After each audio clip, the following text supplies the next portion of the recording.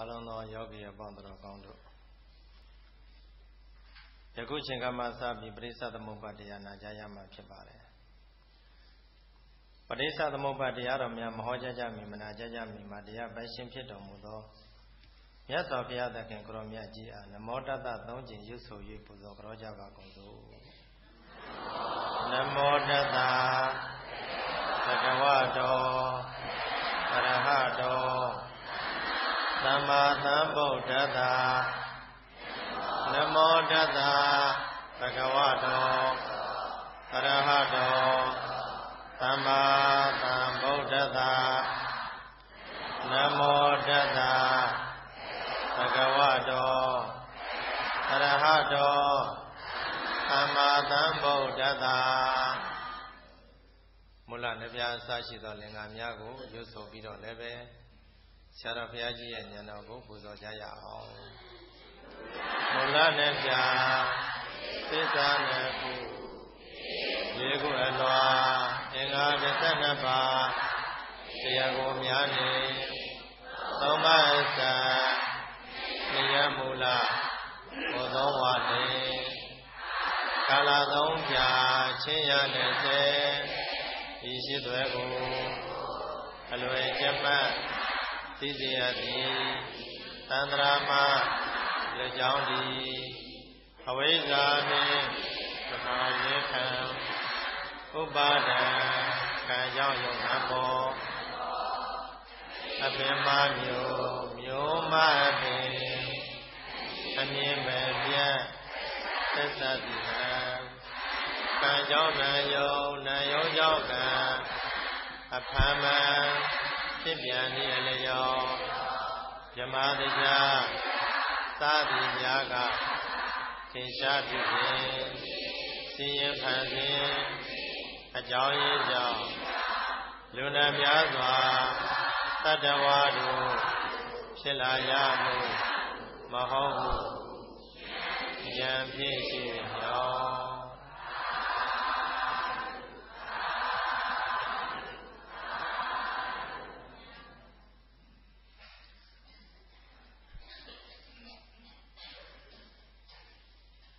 လာတော်မြို့နယ်ကြကလောပရိယတိစာသင်တိုက်မောဂဝိပဿနာဓမ္မရိပ်မှာကျင့်ပပြုလုပ်အပ်တဲ့မောဂဝိပဿနာ9ရက်တရားစခန်းပွဲမှာ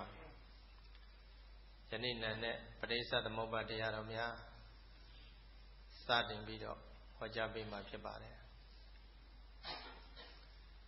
ပဋိစ္စသမုပ္ပါတရားတော်ဆိုတာမိမိတို့ရဲ့တဏ္ဍာမှာဖြစ်နေတဲ့ခ န္ဓာဖြစ်စဉ်ကိုပြောတာပါဘာကိုပြောတာလဲခန္ဓာဖြစ်စဉ်ခန္ဓာဖြစ်စဉ်မသိဘဲနဲ့တရားရှုမှတ်လို့မရပါဘူးရပါမလားခန္ဓာဖြစ်စဉ်သိမှတရားရှုမှတ်လို့ရတယ်ဘာဖြစ်လို့လဲမေးတော့တရားရှုမှတ်တာသိပလျင်တခြားကိုကြည်တာလားခန္ဓာဖြစ်စဉ်ကိုကြည်တာလားခန္ဓာဖြစ်စဉ် ကိုကြည့်တာခန္ဓာဖြစ်စဉ်ကိုကြည့်တဲ့အလုပ်ဒီတရားရှုမှတ်တဲ့အလုပ်နော်ပါတယ်လေခန္ဓာဖြစ်စဉ်ကိုကြည့်တဲ့အလုပ်ဒီတရားရှုမှတ်တဲ့အလုပ်နော်တရားရှုမှတ်တဲ့အလုပ်ဒီတော့မြတ်စွာဘုရားသခင်ကတော်မြတ်ကြီးလက်ထက်ကတရားရှုမှတ်ကြတဲ့တော်ကောင်းကြီးများဘာလို့နေတာလဲမင်းတို့ရဲ့ခန္ဓာဖြစ်စဉ်ကိုကြည့်တာ နော်ဘာလို့တာတော့ခန္ဓာပစ္စည်းကိုကြည့်တာခန္ဓာဆိုတာကပုဂ္ဂိုလ်တ attva လည်းမဟုတ်ဘူးယောက်ျားမိန်းမလည်းမဟုတ်ဘူးအကောင်ထည်လည်းမရှိဘူးတဘာဝတရားလေးတွေအဲ့ဒီတဘာဝတရားလေးတွေကစိတ်ရဲ့စေတသိက်ရဲ့ရုပ်ရဲ့အချင်းချုပ်လိုက်တော့ရုပ်နဲ့နာအချင်းချုပ်လိုက်တော့ရုပ်နဲ့နာရုပ်နဲ့နာနော် ရုပ်တရားကလေးတွေကလည်းတစ်ခုပြက်တစ်ခုဖြစ်ဖြစ်လာတဲ့တရားကလည်းပြက်နောက်တစ်ခုထပ်ဖြစ်ဖြစ်လာတဲ့တရားကလည်းပြက်နောက်တစ်ခုထပ်ဖြစ်နော်ဖြစ်လိုက်ပြက်လိုက်ဖြစ်လိုက်ပြက်လိုက်နဲ့အစဉ်နေတန်းပြီးတော့ဖြစ်ဒါကိုခန္ဓာဖြစ်စဉ်လို့ခေါ်တယ်နတ်တရားတွေကလည်းပဲနတ်တရားကလေးတခုဖြစ်လာလိုက်ကြပြက်သွားလိုက်ဖြစ်လာလိုက်ပြက်သွားလိုက်ဖြစ်လာလိုက်ပြက်သွားလိုက်အဲဒီလိုဒလဇတ်ဖြစ်ပြီးတော့ဒလဇတ်ပြက်နေတာကိုခန္ဓာဖြစ်စဉ်ကိုခေါ်တယ် ဖြစ်စဉ်ပေါ့နော်ဖြစ်စဉ်တခုတည်းဖြစ်နေတာမဟုတ်ဘူး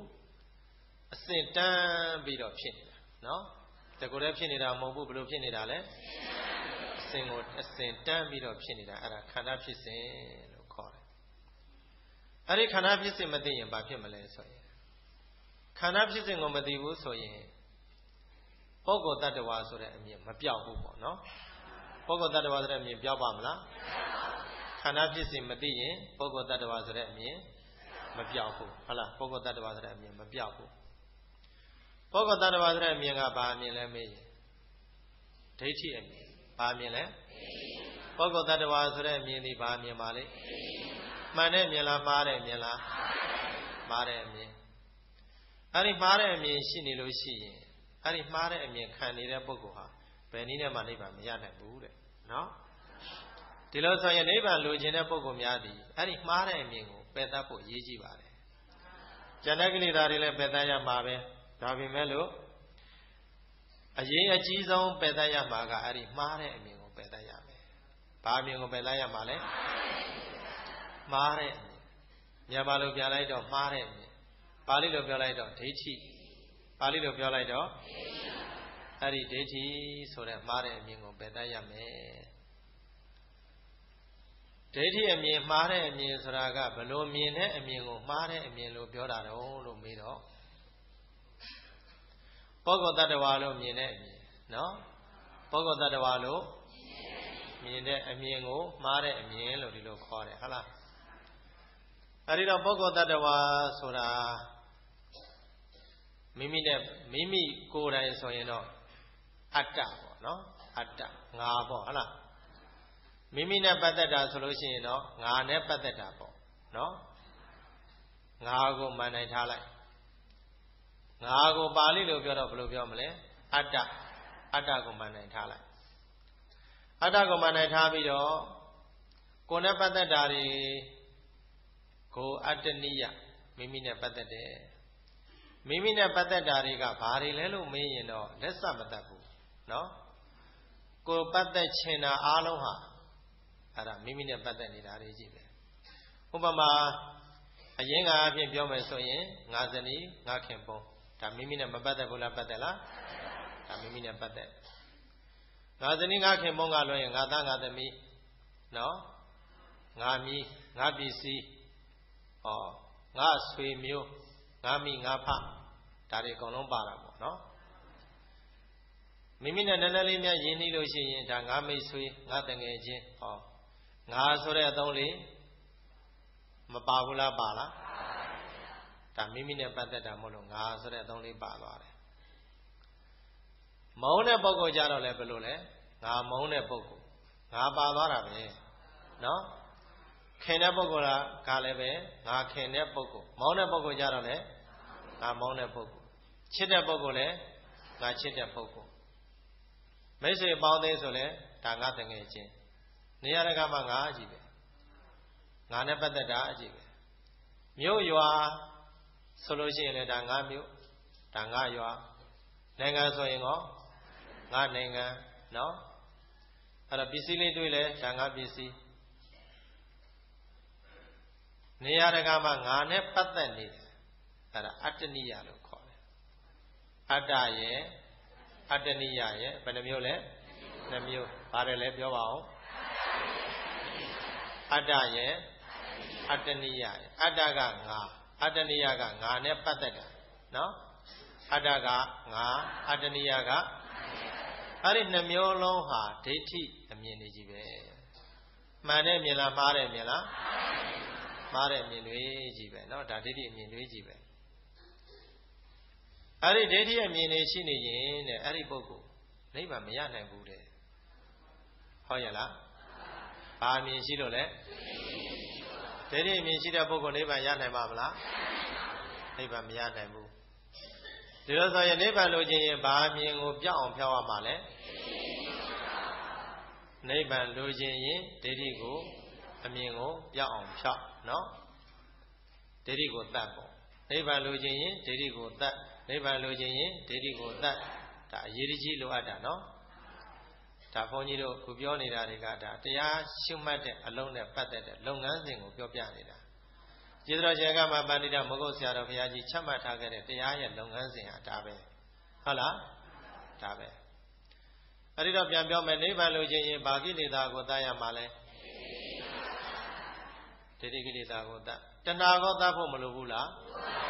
လိုပါတယ်နော်အဝိဇ္ဇာကိုတတ်ဖို့မလိုဘူးလားလိုပါတယ် ဒါပေမဲ့တဏှာတို့အဝိဇ္ဇာတို့ဆိုတာကအပယ်တို့ရောက်စေလောက်ပြင်းထန်တဲ့တဏှာလောက်တတ်နိုင်ရင်လုံလောက်တယ်နော်အကုန်လုံးမတတ်နိုင်ပေမဲ့လို့လည်းပဲဒီပုဂ္ဂိုလ်နိဗ္ဗာန်မရဘူးလားရမှာလားရတယ်နော်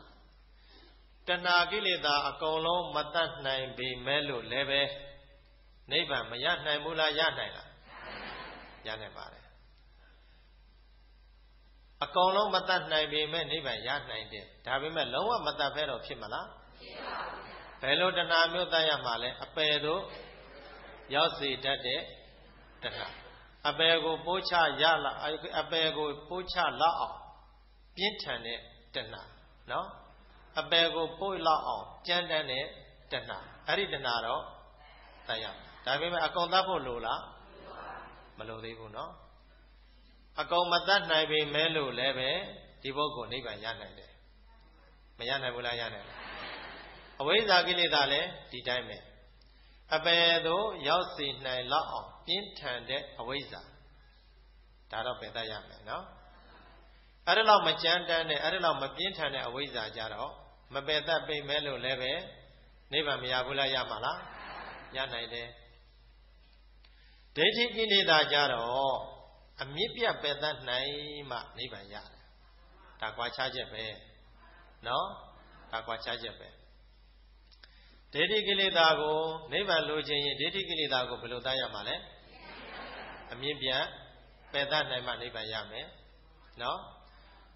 တဇောတစကျွင်းကြံနေသေးရင်နိဗ္ဗာန်ရပါမလားမရဘူးနိဗ္ဗာန်မရဘူးဒိဋ္ဌိကိလေသာလေးနည်းနည်းလေးကြံနေသေးရင်ကိုပဲနိဗ္ဗာန်ရပါမလား ဒါသေးသေးချာချာမှတ်ထားနော်နည်းနည်းလေးကြံနေသေးရင်ကိုပဲနိဗ္ဗာန်မရမိမိရဲ့ခန္ဓာကိုယ်မှာဆံပြားကနေခြေပြားအဆုံးငါလိုများသွားထင်လိုက်ရင်အဲ့ဒီအထင်လေးရှိနေရင်နိဗ္ဗာန်ရပါမလားပဂရိတိုင်းဆိုလို့ရှိရင်တော့နော်ဆံမင်လေးတပင်လဲလူဆံမင်နော်ဘလူဆံမင်နော်ငါဆံမင်သွားလေးတစ်ချောင်းလဲဘလူသွားတော့ငါသွားပဲဟုတ်တယ်မလား ခြေကြတော့လဲငါခြေလက်ကြတော့လဲငါလက်နောက်ဆုံးလက်သေးလေးလှိထုတ်ပလိုက်တာကအစကိုယ်ခန္ဓာကိုယ်ကကွာသွားရင်တော့မှဩဒါငါလက်သေးလေးတွေငါကသွားဆွဲသေးတာနော်အဲ့ဒီလိုငါတို့ဆိုတဲ့အစွဲဟာဟောဒီခန္ဓာကိုယ်တစ်ခုလုံးမှာအချစရာနေရာမရှိတော့အကုန်လုံးစွဲနေတာမစွဲဘူးလားစွဲနေလားအဲ့ဒီအစွဲကိုတဲ့ပြောက်အောင်ဖြောက်အောင်အဲ့ဒီအစွဲလုံးဝမရှိအောင်ဖြောက်အောင်နော် ငါနဲ့ပတ်သက်တာဆိုလို့ရှိရင်လေငါသားငါမယားငါပစ္စည်းငါဇနီးငါခင်ပုံငါမြီးငါကိုငါဟာငါဥစ္စာဒီအစွဲတွေရှိတယ်အဲ့ဒီအစွဲတွေနဲ့ပတ်သက်လို့လေပြောက်အောင်ဖြောက်အောင်မပြောက်သမျှကာလပတ်လုံးဘယ်တော့မှနိဗ္ဗာန်မရဘူးเนาะနိဗ္ဗာန်မရဘူးအဲ့တော့သားတော့သားပဲလောကပညာအရာသားလို့တော့မခေါ်ဘူးလားခေါ်လားသို့တော့စိတ်ထဲမှာစွဲနေတဲ့ဒါငါသားဒါငါသမီး ဒါငါနဲ့ပတ်သက်တာငါမပါရင်မပြီးဘူးငါမပြုတ်ပြင်လို့မရဘူးဒီလိုစိတ်ထဲမှာစွဲနေအဲ့ဒါဒိဋ္ဌိစွဲရှိနေသေးတယ်လို့ခေါ်နော်အဲ့ဒီတော့စိတ်ထဲမှာသားတော့သားပဲဒါပေမဲ့ပြုတ်လို့ပေးစရာရှိတာပြုတ်လို့ပေးမယ်သို့တော်လည်းစိတ်ထဲမှာစွဲမထားနဲ့မိမိရဲ့ဉာဏ်ထဲမှာကတော့ဩဒါလည်းသူလည်းရုပ်သဘောနဲ့နတ်သဘောရုပ်တရားနဲ့နတ်တရားပေါင်းစပ်ဖွဲ့စည်းထားတဲ့ခန္ဓာကိုယ်ပဲအကြောင်းဖြစ်လို့အကျိုးဖြစ်လာတာနော် မိမိခန္ဓာကိုယ်ကလည်းဘာကြောင့်ဖြစ်လာတဲ့ခန္ဓာကိုယ်လဲအကြောင်းဖြစ်လို့အကျိုးဖြစ်လာတဲ့ခန္ဓာကိုယ်ပဲသူတို့ရဲ့ခန္ဓာကိုယ်ကလည်းဘာကြောင့်ဖြစ်တော့အကြောင်းဖြစ်လို့အကျိုးဖြစ်လာတာလေးကြီးပဲအကြောင်းမပါပဲနဲ့ဘယ်အကျိုးမှပေါ်လာတာမဟုတ်ဘူးအကြောင်းမပါပဲနဲ့ဘယ်အကျိုးမှပေါ်လာတာမဟုတ်ဘူးအကြောင်းရှိလို့အကြောင်းရှိလို့အကျိုးရှိတာဒီလိုဆိုရင် ဖြစ်ပေါ်လာသမျှအရာအလုံးဒီငါပိုင်တာလားအကြောင်းကပိုင်တာလားစဉ်းစားနော်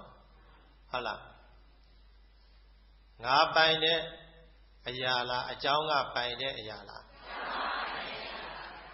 ဒီလိုဆိုရင်လောကပညာအဖြစ်တော့သားပဲသမီးပဲလို့ပြောမယ်ဒါပေမဲ့သားတို့သမီးတို့ဆိုတာလေငါပြုတ်ပြင်လို့ဖြစ်တာလားအကြောင်းရှိလို့ဖြစ်လာတာလားအကြောင်းမရှိဘဲနဲ့ဘယ်ရာမှမဖြစ်ဘူး ဒါကြောင့်သားတို့သမီးတို့ဆိုတာလေငါပိုင်တဲ့အရာတွေလားအကြောင်းကပိုင်တဲ့အရာတွေလားကံကလည်းပိုင်တယ်စိတ်ကလည်းပိုင်တယ်ဥဒုကလည်းပိုင်တယ်အာဟာရကလည်းပိုင်တယ်နော်ပုဂ္ဂိုလ်တ attva လေးတယောက်ကံမပါဘဲနဲ့ဘယ်တော့မှယက်တည်လို့မရဘူးရပါမလားကံမပါဘဲနဲ့ဘယ်တော့မှယက်တည်လို့မရဘူးကိုကဘလောက်ပဲယက်တည်စေခြင်းနဲ့အသက်ရှင်စေခြင်းပေမဲ့လို့လဲကံကပြန်ခေါ်သွားရင်ပါသွားတာပဲနော်ကိုပိုင်လို့လားမပိုင်လို့လား ကိုပိုင်ရင်ကိုပိုင်လို့ရှိရင်မင်းခေါ်မသွားပါနဲ့ထားခဲ့ပါလို့ပြောလို့ရမှာပေါ့မရဘူးလားရဒါပေမဲ့ကံကပြန်ခေါ်သွားတဲ့ဒီနေ့မှာအသက်ငယ်သည်ကြီးသည်မဟုတ်နော်သာသမီဖြစ်စေမိဘဖြစ်စေဆွေမျိုးညီကောင်မဖြစ်စေကံကပြန်ခေါ်သွားတဲ့အချိန်မှာပါမသွားရဘူးလားပါသွားရကိုပိုင်လို့လားကံကပိုင်လို့လားကံဆိုတာအကြောင်းတရားနော်ကံဆိုတာအကြောင်းတရား နောက်တကစိတ်ဆိုတာလည်းဖြစ်ရှိတယ်ကံရဲ့စိတ်ရဲ့ဥဒုရဲ့အာဟာရရဲ့စိတ်ဆိုတာလည်းအကြောင်းတရားသူ့ရဲ့စိတ်ကနော်သူ့ရဲ့စိတ်ကသွားခြင်းတဲ့စိတ်ပေါ်ရင်သူသွားမှာပဲကိုကမသွားစေခြင်းပေမဲ့လို့သူ့ရဲ့စိတ်ကသွားစေခြင်းတဲ့စိတ်ပေါ်ရင်သူသွားမှာပဲနော်ကိုကသွားစေခြင်းပေမဲ့သူ့ရဲ့စိတ်ကသွားခြင်းတဲ့စိတ်မပေါ်ရင်သူသွားပါမလားဟောဒီလိုဆိုတော့သွားခြင်းမသွားခြင်း အနေထားမျိုးဆိုတာလေကိုပြုတ်ပြင်လို့ရတာလားသူစိတ်ကပြုတ်ပြင်တာလားသူစိတ်ကပြုတ်ပြင်တာသူစားခြင်းမှာစားတာပဲသူသွားခြင်းမှာသွားတာပဲလောကမှာစကားရှိတယ်မို့လားအမေဘလို့သိသိငါအိမ်မှပြောတယ်ဆိုတာနော်အမေဘလို့သိသိငါအိမ်မှပြောတယ်သူစိတ်ရှိမှသူစိတ်အတိုင်းသူဆောင်ရွက်သွားတာပဲဒီပေါ်မှာကိုကနေပြီးတော့ဟာငါပိုင်တာပဲဒီလို့ကိုလုံးဆိုလုံးသူစိတ်ကလုံးချင်မှသူလုံးမှာပေါ့ မလုံးချင်ရင်လုံးပါမလားသားပဲဖြစ်ဖြစ်သမီးပဲဖြစ်ဖြစ်မြည်ပဲဖြစ်ဖြစ်အကောင်လုံးကိုယ်စိတ်တိုင်းကြကိုယ်လိုတိုင်းဖြစ်သလားမဖြစ်ဘူးလားဖြစ်ပါဘူးဒါအားလုံးသိကြပါတယ်နော်သူစိတ်နဲ့ဆန့်ကျင်ပြီးတော့ကိုဘာမှလုပ်လို့မရဘူးဟုတ်လားသူစိတ်နဲ့ဆန့်ကျင်ပြီးကိုဘာမှလုပ်လို့မရဘူးသူစိတ်ကဖြစ်ခြင်းမှဖြစ်သွားတာသူစိတ်ကမဖြစ်ချင်ရင်ကိုဖြစ်စေခြင်းမိမဲလို့လည်းပဲမဖြစ်ပါဘူးဒီတော့ သားပဲသမီးပဲဆိုပေမဲ့ငါပိုင်တာလားစိတ်ဆိုတဲ့အကြောင်းကပိုင်တာလားဟုတ်ပြီနံပါတ်1အကြောင်းကကံနံပါတ်2အကြောင်းကစိတ်စိတ်နံပါတ်2အကြောင်းကနံပါတ်1ကကံကိုကပိုင်တာလားသူကံကပိုင်တာလားတချို့တချို့မိဘတွေများသာသမီချမ်းသာအောင်မျိုးမျိုးပြုလုပ်ပေးထားကြတာပဲနော်မျိုးမျိုးပြုပြင်ပေးထားကြတာပစ္စည်းအလူအားအားလုံးခြုံငုံပြီးတော့ သားကလေးသမီးကလေးချမ်းသာအောင်ပြုပြင်ပေးထားကြတာပဲသူကံကညံ့လာပြီဆိုရင်နော်ချမ်းသာအောင်ထားပေးတဲ့ကြားတဲ့ကဆင်းရဲခြင်းနဲ့ဆင်းရဲသွားကြတာပဲ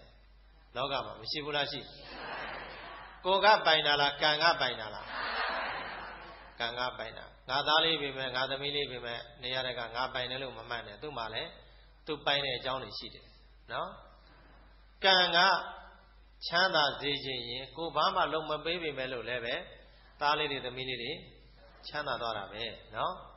ကိုဘလောက်ပဲကမကရခံပြီးတော့ဂယုဒဇိုင်းနဲ့ပြုတ်ပြင်ပေးထားပေမဲ့လို့လည်းပဲကိုမျက်စိနှလုံးကွယ်သွားတာနဲ့တပြိုင်နက်ဆင်းရဲသွားတာတွေလည်းတပုံကြီးပဲနော်မိဘတွေဘလောက်ပဲချမ်းသာချမ်းသာသာသမီလက်ထက်ကြတော့ဆင်းရဲသွားတာတွေအများကြီးပဲကိုပိုင်လို့လားကံကပိုင်လို့လားအဲ့တော့ကံကလည်းပိုင်တယ်စိတ်ကလည်းစိတ်ကလည်းပိုင်တယ် သောတကနာပါသုံးကဥတုကလည်းပိုင်တယ်။ဘာကလည်းပိုင်တော့ဥတုစာလည်းအကြောင်းတရားတစ်ခုပဲနော်အကြောင်းတရားတစ်ခုပဲ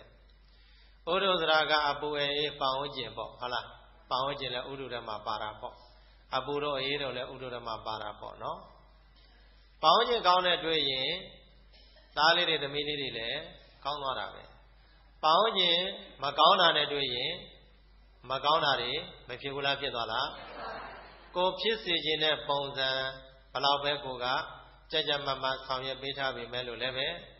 ပါဝန်းကျင်အနေထားအရာဖြစ်သွားတာပဲနော်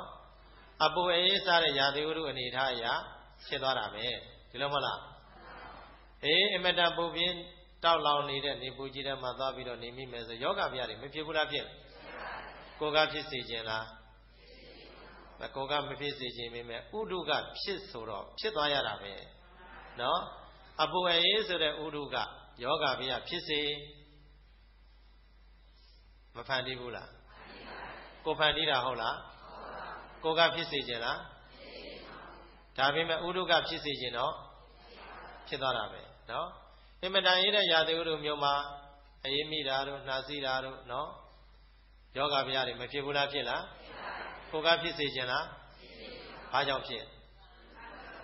ဘာကြောင့်ဖြစ်တော့ ဥဒုကြောင့်ဖြစ်တာဘာကြောင့်ဖြစ်တော့ဒီလိုတော့ကိုပိုင်တဲ့အရာတွေလားဥဒုပိုင်တဲ့အရာတွေလားကိုမပိုင်ဘူးနော်ကိုကိုကိုတော့ကိုပိုင်ရဲ့လားကိုကိုကိုတော့ကိုမပိုင်ဘူးကိုကိုကကိုကိုကိုတိုင်းလည်းပဲကံကြောင့်ဖြစ်နေတာစိတ်ကြောင့်ဖြစ်နေတာဥဒုကြောင့်ဖြစ်နေတာကိုကိုတော်မှကိုမပိုင်ပဲနဲ့သူများတော့ပိုင်ခြင်းလို့ရပါမလားနောက်တစ်ခါနံပါတ်၄ကအဟာရကြောင့်ဖြစ်တာ ဘာကြောင့်ဖြစ်တော့တဲ့တာလေးစားမိရင်တစ်မျိုးဟုတ်လားမတဲ့တာလေးစားမိရင်တစ်မျိုးအမျိုးမျိုးမဖောက်ပြန်ဘူးလားဖောက်ပြန်လားဖောက်ပြန်တယ်နော်တကြတကြပုဂ္ဂိုလ်တွေများမတဲ့တာအိမ်လုံးဝမတဲ့တဲ့အရာများဆန့်ကျင်မဲ့ပစ္စည်းများသွားစားမိလို့ရှိရင်တခါတည်းကိုပဲအစာစိတ်သိမ့်ပြီးတော့ဟောခန္ဓာမဆုံးရဘူးလားဆုံးရဘလူကတတ်တော့အာဟာရကတတ်တာဘလူကတတ်တော့ ကိုပိုင်လို့လားမပိုင်လို့လား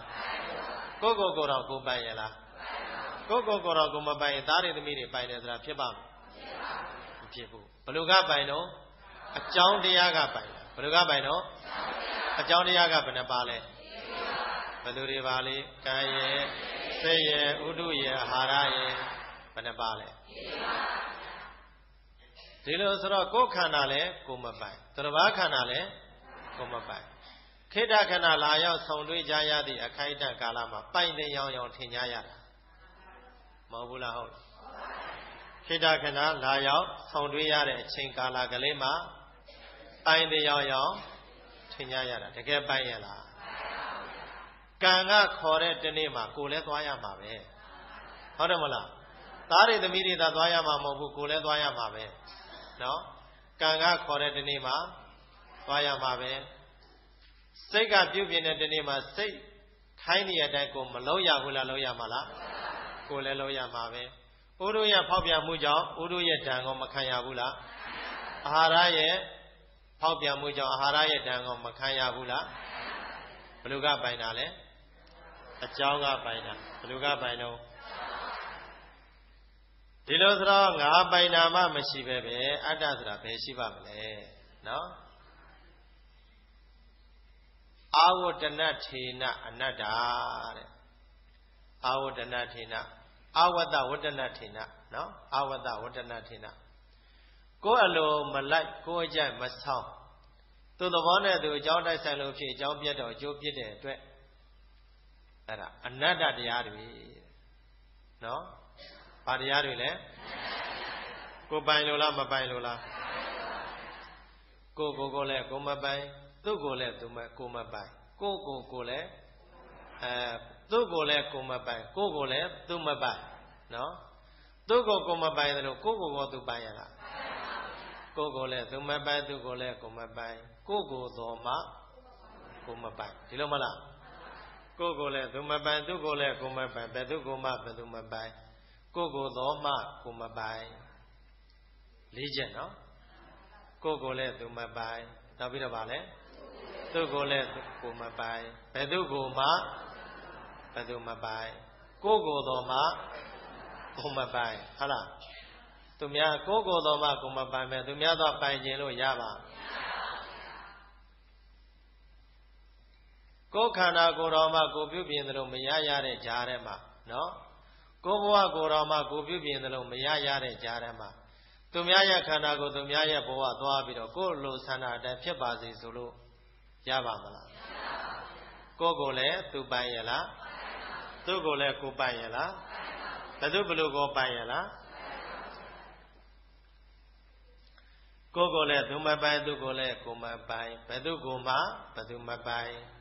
ကိုကိုတော်မှကိုမပိုင်ဒါကိုပိုင်ရင်လို့မရဘူးနော်ပိုင်ရင်တယ်ဆိုကြတဲ့ကိုကတခြားအမြင်လားအတ္တအမြင်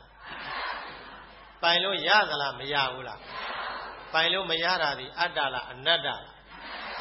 အနတ္တခန္ဓာကိုယ်အတ္တခန္ဓာကိုယ်လားအနတ္တခန္ဓာကိုယ်လားအနတ္တခန္ဓာကိုယ်နော်ဘာကြောင့်အနတ္တလဲလို့မေးရင်ခုနဘယ်နှချက်ပြောထားလဲဘာကြောင့်အနတ္တလဲကိုယ်ကိုယ်လည်းသူမပိုင်သူ့ကိုယ်လည်းကိုမပိုင်ဘယ်သူကိုမှဘယ်သူမပိုင်ကိုယ်ကိုယ်တော်မှကိုမပိုင်ဒါကြောင့်အတ္တလားအနတ္တလားအဲ့ ဒီအနတ္တဟာမိမိခန္ဓာကိုယ်တစ်ခုလုံးမှာဘယ်နေရာတွေအနတ္တလဲလို့မေးတစ်ခုလုံးဟာအနတ္တကြီးပဲဟုတ်လားတစ်ခုလုံးဟာအနတ္တကြီးပဲဆံမင်ကနေခြေပြားအထိအတ္တလားအနတ္တလားအနတ္တအဲ့တော့ကိုယ်ကိုယ်ကမှအတ္တမဟုတ်ဘူးဆိုရင်ကျန်တဲ့ပုဂ္ဂိုလ်တွေကကောအတ္တဟုတ်ပါ အတ္တလည်းမဟုတ်အတ္တနိယလည်းမဟုတ်ပေါ့နော်အဲ့ဒါကိုပဲကိုကိုကိုကိုပိုင်တယ်လို့ထင်ရင်အတ္တမိမိနဲ့ပတ်သက်တာတွေကိုငါနဲ့သွားဆွဲရင်ငါပိုင်တယ်လို့ထင်ရင်အတ္တနိယအတ္တနဲ့အတ္တနိယအတ္တဆိုတာလဲဒိဋ္ဌိအတ္တနိယဆိုတာလဲဒိဋ္ဌိအဲ့ဒီဒိဋ္ဌိရဲ့ဆွဲရှိနေတဲ့မြတ်ကာလပတ်လုံးအဲ့ဒီပုဂ္ဂိုလ်ဘယ်နည်းနဲ့မှနိဗ္ဗာန်မရောက်ဘူးတဲ့နော်အခုနတော့ကတဏှာကိလေသာက အကုန်မပယ်နိုင်သေးပေမဲ့နိဗ္ဗာန်မရောက်နိုင်ဘူးလားရောက်နိုင်လားအဝိဇ္ဇာကိလေသာကလည်းအကုန်မပယ်နိုင်သေးပေမဲ့နိဗ္ဗာန်မရောက်နိုင်ဘူးလားရောက်နိုင်လားဘလောက်ပယ်ရင်လုံလောက်တယ်လဲတဏှာတို့အဝိဇ္ဇာတို့လေဘလောက်ပယ်ရင်လုံလောက်တယ်လဲပယ်သို့ရောက်စေနိုင်လောက်တဲ့နော်ကြမ်းတမ်းတဲ့တဏှာကြမ်းတမ်းတဲ့အဝိဇ္ဇာဒေါသဆိုရင်လည်းဘယ်လိုပြောမလဲ အပယ်သို့ရောက်စေနိုင်လောက်တဲ့ကြမ်းတမ်းတဲ့ဒေါသအဲ့ဒါလောက်ပယ်ရင်နိဗ္ဗာန်ရောက်တယ်သောတာပန်ဖြစ်လို့နိဗ္ဗာန်ရောက်သွားပြီမဲ့နိဗ္ဗာန်မြင်ပြီမဲ့နော်သောတာပန်ဖြစ်လို့နိဗ္ဗာန်မျက်မှောက်ပြုနိုင်ပြီမဲ့ဒေါသကုန်ပြီလို့တော့သွားမမှတ်နဲ့လောဘကိုကုန်ပြီလို့မှတ်လို့ရပါမလားသို့တော့ဘယ်လောဘဘယ်ဒေါသတော့ကုန်သွားပြီလေအပယ်သို့ရောက်စေနိုင်လောက်တဲ့ကြမ်းတမ်းတဲ့လောဘ နောက်တစ်ခါအပယ်သို့ရောက်စေနိုင်လောက်တဲ့ကြမ်းတမ်းတဲ့ဒေါသအဲ့ဒီလောဘအဲ့ဒီဒေါသတွေကတော့မရှိတော့ဟုတ်လားသောတာပန်ဖြစ်ခဲ့ရင်လေနော်သောတာပန်ဖြစ်ခဲ့ရင်အပယ်သို့ရောက်စေနိုင်လောက်တဲ့လောဘမရှိတော့ဘူးအပယ်သို့ရောက်စေနိုင်လောက်တဲ့ဒေါသမရှိတော့ဒါမှကုန်ပြီလားမကုန်သေးဘူးလောဘရဲ့သွေးသဏ္ဍာန်လေးတော့လိုချင်ပါတယ်ဆိုတာလေးတော့ရှိနေသေးတာပဲနော်အာယုံ၅ပါးကာမဂုဏ်တရားတွေပေါ်မှာตายရပါတယ်ဆိုတာလေးတော့မရှိဘူးလားရှိလား ဟောစိတ်ဆိုးစရာရှိစိတ်ဆိုးမယ်ဒေါသထွက်စရာရှိဒေါသထွက်မယ်ဒါလေးတွေလည်းမရှိဘူးလားရှိတာပဲမကုံမမကုံသေးပဲကိုနော်သို့တော့အပယ်သို့ရောက်စေနိုင်လောက်အောင်ကြမ်းတမ်းတဲ့လောဘဒေါသတော့ရှိပါမလားဒါတော့မရှိဘူးဒိဋ္ဌိကြတော့ဘယ်လိုလဲအကျွင်းအကြံမရှိကိုပယ်ရမယ်။ကြွာချတယ်နော်။ဒိဋ္ဌိကဘယ်လိုပယ်ရမှာလဲ။ ဆံမင်းလေးတပင်ငါဆံမင်းလို့ဆိုတဲ့အစွဲလေးများရှိနေရင်သောတာပန်ဖြစ်ပါ။နိဗ္ဗာန်မြင်ပါမလား။နာရခြင်းနဲ့ကြိုက်တယ်ခဲတဲ့ဝေဒနာလေးပေါ်လာတယ်။ငါနာတယ်ဆိုတဲ့အစွဲလေးနော်။ပေါင်ကငါပေါင်ကနာတယ်ငါပေါင်ကနာတယ်ငါခြေသလုံးကနာတယ်ငါခြေသလုံးကကျင်တယ်နော်အဲ့ဒီစွဲလေးနည်းနည်းရှိနေသေးရင်ဘယ်နဲ့လဲ သောတာပန်ဖြစ်ပါနိဗ္ဗာန်မြင်ပါမလားမမြင်ဘူးနော်ဒါကြောင့်သောတာပန်ဖြစ်ခြင်းနဲ့နိဗ္ဗာန်မြင်ခြင်းနဲ့ဆိုရင်အဲ့ဒီငါဆိုတဲ့အစွဲလေးကိုလုံးဝပြောက်ကြိုးစားပြရမယ်ဟုတ်လားငါဆိုတဲ့အစွဲလေးလုံးဝပြောက်အောင်ကြိုးစားပြရမယ်နည်းနည်းလေးကြံနေသေးရင်မရဘူးဒါကြောင့်အမြင့်နှင့်တကဝပယ်တယ်ဆိုတာထားပြောတာပေါ့နော်အမြင့်ကလေးရှိနေရင်ကိုပဲအမြင့်ရှိရင်အပေါ်ကအတက်ကလေးတော့ထွက်သေးတာပဲဟုတ်လား သစ်ပင်ကလေးလေးပဲမြေကြီးနာကခုတ်အောက်ကမြင့်ရှိနေသေးရင်အတက်ကလေးတော့ထွက်လာတာသေတယ်လို့မခေါ်သေးဘူးနော်အမြင့်ပါတူးပြီးတော့ဖယ်ရှားပလိုက်တော့မှဒီနေရာမှာဒီသစ်ပင်နဲ့ပတ်သက်တာဘာမှမကြံတော့ဟုတ်လားနောက်ထပ်ပြန်ပေါ်ဖို့မျှော်လင့်ချက်ရှိသေးလားမရှိတော့အဲ့ဒီလိုပဲဒိဋ္ဌိကိလေသာကိုလည်းနည်းနည်းလေးကြံနေသေးရင်နည်းနည်းလေးကနေပြန်ကြီးနိုင်သေးတယ်ဟုတ်လား ပယ်တတ်တော့ပယ်တတ်တာပဲအကုန်မကုန်ဘူးနည်းနည်းလေးကြံနေတယ်